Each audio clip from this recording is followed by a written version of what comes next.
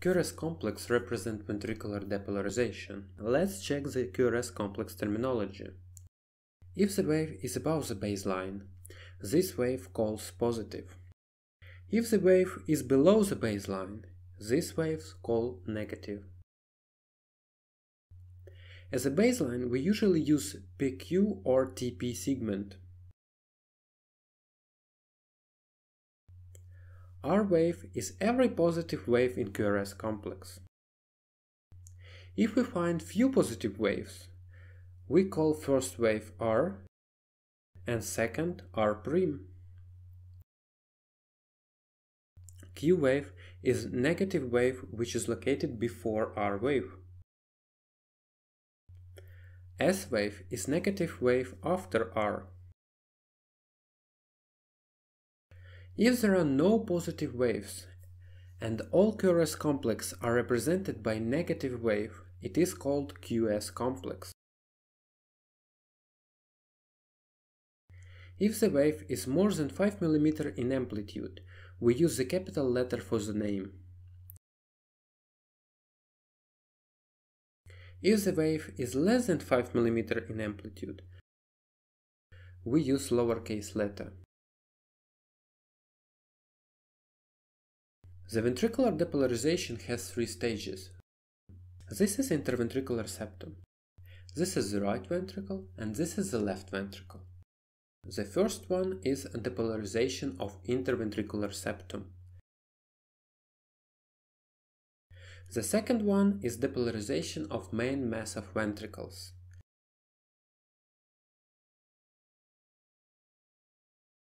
And the last one is depolarization of basal parts of ventricles and interventricular septum.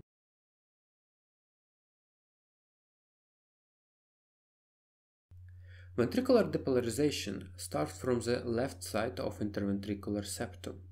It is occurred because the left bundle of His is shorter than right bundle of His. According to this, the polarization stimulus arrive earlier to the end of the left bundle of His than to the right one. Left part of interventricular septum has negative charge, and right part of interventricular septum has positive charge. Between these two charges, electrical power arises.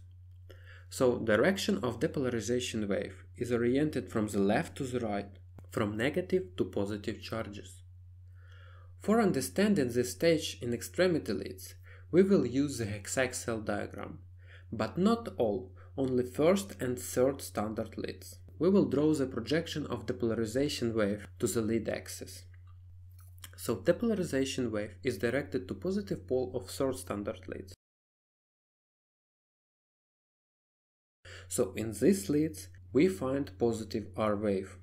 The mass of interventricular septum is small, so depolarization power is small too. According to this, positive R wave is less than 5 mm in amplitude, and we use lowercase letter r. On the other hand, this depolarization is directed to negative pole of first standard lead, so in this lead we find the small negative Q wave. The second stage is the depolarization of main mass of ventricles. The depolarization goes from endocardium to epicardium.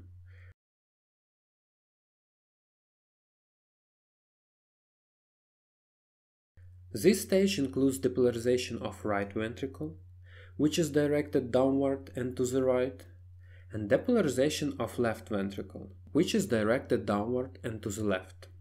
So vector of ventricle depolarization is directed in different ways. The resulting vector of ventricular depolarization is a sum of both vectors of right and left ventricular depolarization. The mass of myocardium in ventricles is not equal, the left ventricle is bigger than right ventricle. According to this, the vector of left ventricular depolarization is greater than vector of right ventricular depolarization. So the resultant vector of ventricular depolarization is oriented to the left and downward. In extremity leads, this resultant vector is directed to the positive pole of first standard lead. So in this lead we find big positive R wave.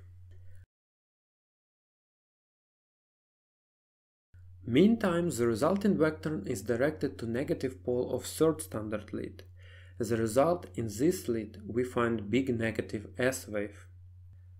The third stage is depolarization of ventricle basal parts. This depolarization is directed upward and slightly to the right. So vector of depolarization is directed to negative pole of first standard lead. As a result, in this lead, a small S wave is present.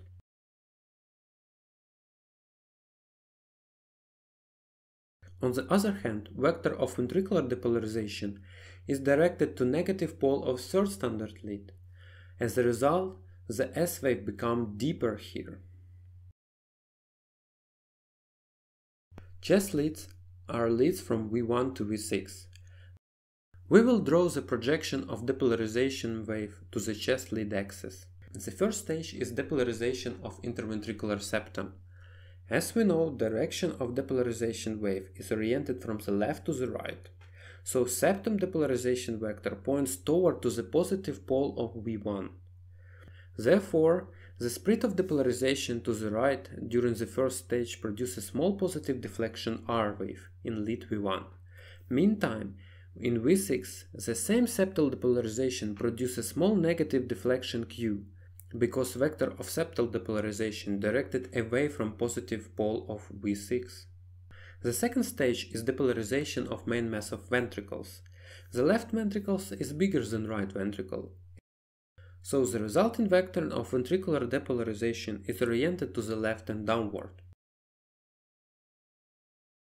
Meantime, the same depolarization vector points toward to the V6. Therefore, V6 display tall positive R wave. This depolarization points away from positive pole of V1.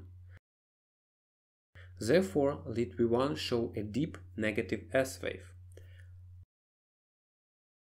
The third stage is depolarization of ventricle basal parts, so vector of depolarization in this case is directed away from the positive pole of V6. This is a little region of ventricles, therefore V6 displays small negative S wave. The depolarization of ventricles basal parts is far from V1, so this depolarization has no influence in QRS complex in V1. In summary, with normal QRS patterns, lead V1 shows an rS type of complex. Conversely, viewed from the anelectrode in the V6 position, septal and ventricular stimulation produce a QRS pattern.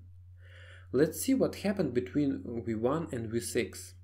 The answer is when you move across the chest in the direction of electrically predominant left ventricle, the R waves becomes relatively larger and the S wave becomes relatively smaller. It is occur because the mean vector of second stage usually is parallel to positive pole of V4. As we know, if the vector is parallel to positive pole of lead, this lead shows a maximal R wave.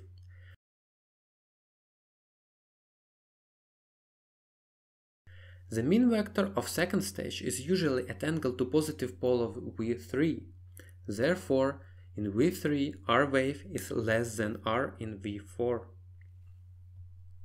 V1 and V2 leads show small R wave, which caused by septal depolarization.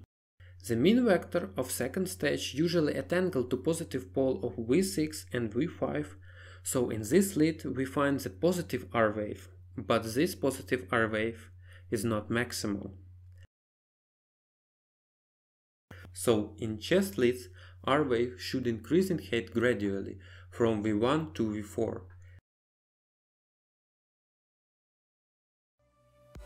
This called normal R wave progression.